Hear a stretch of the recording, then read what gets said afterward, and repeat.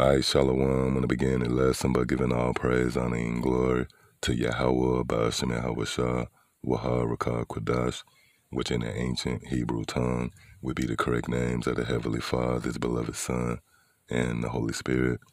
Also, would like to give double honors to my teachers, the head apostles and elders, a Great Millstone. Much due honors and respect to the sincere brethren out there that's also laboring in His work.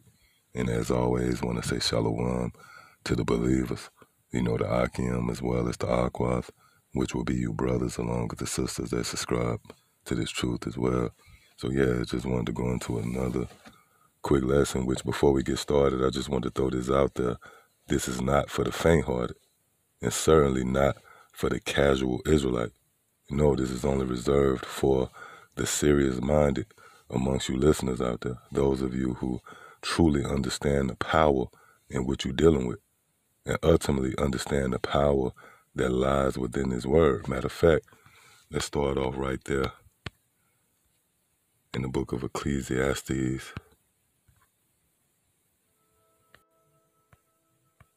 The eighth chapter, in the fourth verse, it says, What a word of a king is, there is power. and who may say unto him, What doest thou? Yeah, let's read this again. It says, What a word of a king is, there is power. Yeah, and who would this king be?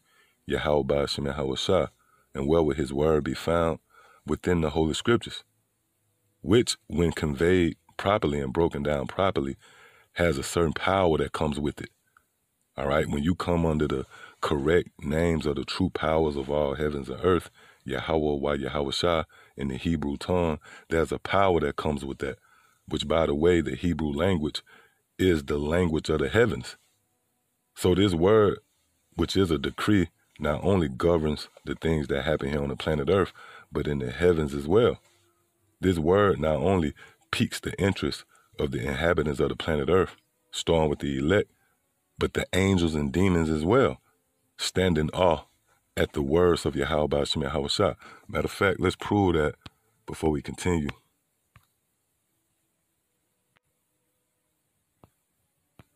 This is the book of First Peter, the first chapter. And starting at the 10th verse, it says, Of which salvation the prophets have inquired and searched diligently, who prophesied of the grace that should come unto you. Yeah, in the scriptures, when read with understanding, you will see that it's pretty much a build up to this very moment. This would be the appointed time, if you will, for the Lord's grace to go forth. This is the time where the Lord chose to extend somewhat of a peace offering, if you will, to the nation of Israel, which will only be honored by his elect. See?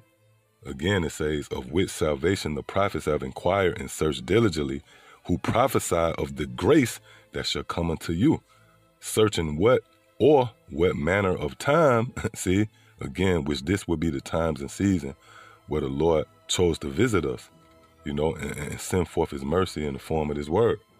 See, searching what or what manner of time the spirit of Hamashiach, which was in them, did signify when it testified beforehand the sufferings of Hamashiach and the glory that should follow, unto whom it was revealed that not unto themselves, yeah, meaning the prophets of old, they didn't understand the breakdowns.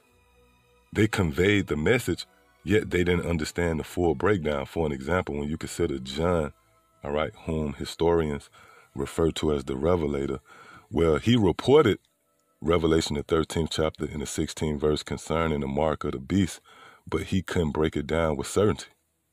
You know, he didn't know about this technology, the technology of this day. He didn't know about cell phones and laptops and desktops and computers, right? He reported it, but the breakdown wasn't revealed to him in that lifetime. Again, it says, unto whom it was revealed that not unto themselves, but unto us. See, so this is the time where the Lord is revealing the mysteries of the kingdom of heaven. See that? Again, unto whom it was revealed that not unto themselves, but unto us. See, they did minister the things which are now reported unto you. See, so they wrote the scriptures, if you will. They scribed the prophecies, and we are now reporting them to you in this lifetime. All right, this is the time where the Lord will break down the mysteries. unto his elect, see, which are now reported unto you by them, see, that have preached the gospel unto you. And that's concerning the men that you see who have been thrust out there, you know, on the front lines, pushing forth this word. See, again, by them that have preached the gospel unto you with the Holy Spirit sent down from heaven, which is the understanding. And this is the point right here. It says, which things the angels desire to look into. See, which things the angels desire to look unto. So this proves that this word, which again is a decree from the Heavenly Father Himself, not only governs the things that take place here on the planet Earth, but it also governs the things in the heavens. All right, so this word has power not only here in the earthly realm, but the spiritual realm as well. And that's what I wanted to touch on in this lesson. All right, which brings me right here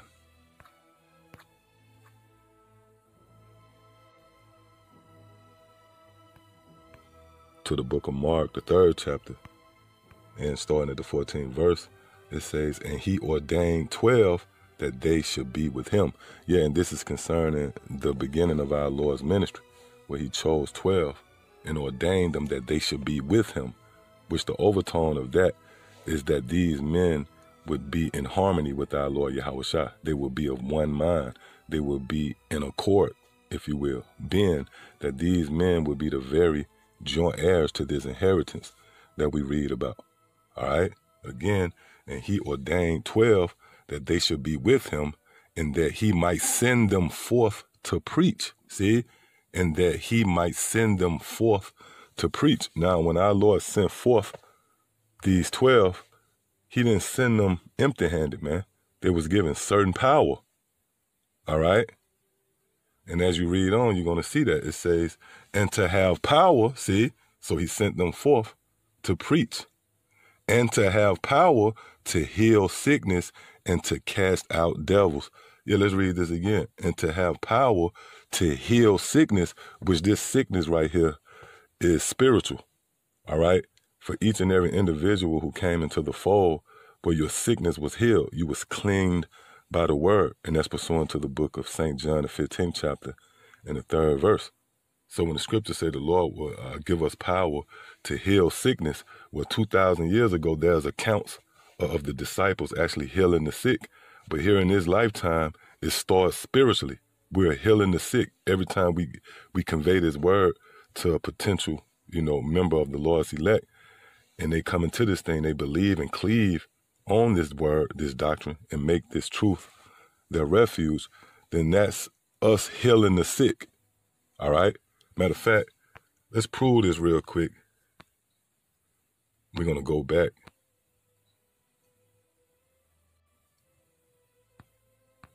This is the book of Psalms, chapter 107. and verse 20, it says, He sent His word and healed them. See, He sent His word and healed them and delivered them from their destruction. So, this is pretty much the chronological order. Before you're physically delivered from this destruction, the Lord will send forth his word and heal you. See? So when the scripture speaks about the Lord giving his men power to heal the sick, well, this has a spiritual overtone to it. All right, men and those of you who heard this word, when conveyed, you believed on it, then at that point you was healed. Now, this doesn't mean that there won't be physical miracles.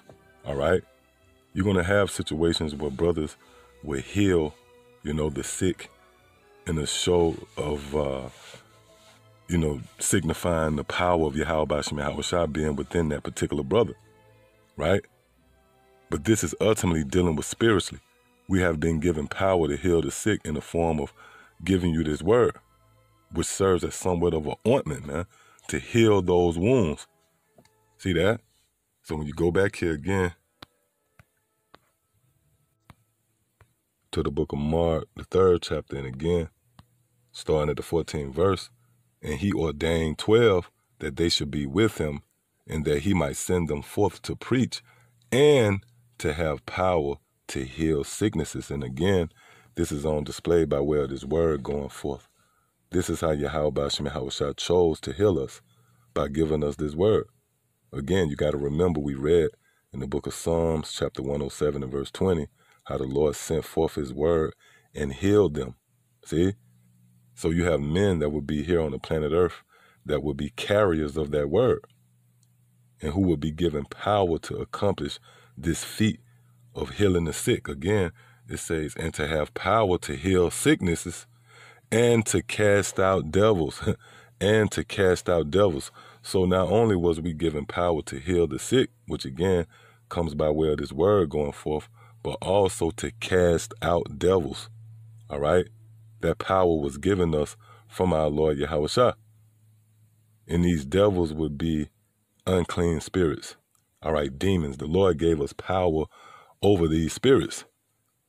And again, we are dealing with a parallel of two worlds. All right? You have the physical realm, the earthly realm, and the spiritual realm, man, which the Lord gave us power over the devils and demons in this realm. All right, every time we teach, you know, the downfall of America and we chant down this place, Babylon, and it happens. All right. Well, that's the Lord giving us power over devils, man, in the earthly realm. But this also applies to the spiritual realm. And this can be proven when you go right here to the book of Luke, the ninth chapter, in the first verse. It says, Then he called his 12 disciples together and gave them power, see, and gave them power and authority over all devils, see, over all devils. See that? Real quick, let's click on this word all.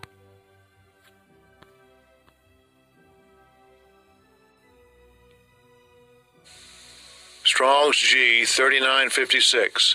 Pas. Pas. Yeah, and that would be the pronunciation in the Greek for this word all. And it says individually, each, every, any, all, the whole, every one all things. See that? All things. Everything. So again, when the scriptures say that the Lord have given us power and authority over all devils, it means just what it says, man. All right, each and every spiritual being, every demon and devil, from the demons that roam here in the earthly realm, which by the way, you have demons that come in the form of people. And that can be proven by the account where our Lord rebuked Satan in the form of Peter. And you also have demons, you know, in the spiritual realm, you know, high level demons that have the ability to tap into your dreams. You have sleep paralysis. All right. They have access to pipeline to tap into your mind. All right. Well, guess what? The Lord gave us power over all of these demons, man. And that power is cemented by way of this word, this truth, which again is a decree from the Heavenly Father Himself which the words of Yahweh Shem Hawashah trumps any and every power. So if you have access to that word, then this means the Lord have given you power over demons, man, over unclean spirits. And again, it's by way of this word. All right? This is how you combat all demons, from the low level demon to the spiritual being demon, Satan himself, man. And that's actually written in the scriptures where the spiritual being Satan tempted our Lord Yahweh And how did he combat the devil? By way of the scriptures, man. See?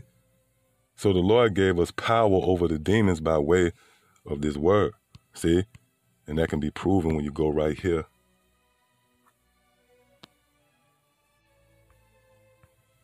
To the book of Luke, the 10th chapter. And starting at the 16th verse, it says, He that heareth you, heareth me, and he that despiseth of you despiseth of me. Yeah, and this proves again that there will be men here on the planet Earth that will be carriers, if you will, of the words of our Lord. And for those of you who hear those men and that report that they bring, then this will mean that you hear our Lord Yahweh Shah. But for those of you who despise those men, this will actually mean you despise our Lord, which ultimately means you despise the very one who sent him which will be the Heavenly Father Himself again. He that heareth you heareth me, and he that despiseth you despiseth me, and he that despiseth me despiseth him that sent me. So that's the chain of command, if you will. And what you're going to find out, there's a certain rank and file, all right? with the Heavenly Father, His Son, the angels, as well as the demons, man. See? Now, what we read right here is our Lord again sending forth his disciples. You know, which when you read in the book of Matthew, the 10th chapter and the 5th verse on down, our Lord gives his men explicit instructions, if you will, on how to go forth and, you know, proceed and further with preaching the doctrine, preaching the kingdom of heaven. All right. Now, that was a time where those men whom the Lord sent forth, they actually returned. and they returned to our Lord with a report. And it tells you that right here in the 17th verse. It says, And the 70 returned. See, in the 70 returned after our Lord sent them forth to preach this gospel. They returned. It says again with joy, saying, Lord, even the devils are subject unto us through thy name. Let's read this again. And the 70 returned again with joy, saying, Lord, even the devils are subject unto us through thy name. Now, when you go into this word subject, that's a compound word. The word sub meaning under. That's where you get the word submerge. And the word ject going back to rule, which when you put the words together, sub inject, it literally means under rule. All right? So the scriptures say that the disciples returned to the Lord with the report that the devils are subject or under the rule of them through his name. Now, obviously, the name of our Lord starts with the physical names, you know, Yahweh, why Yahweh Shah. But there's a reason why the devils subjected themselves to the disciples who came in the name of our Lord Yahweh Shah. And to get a better understanding of that, let's click on this word name.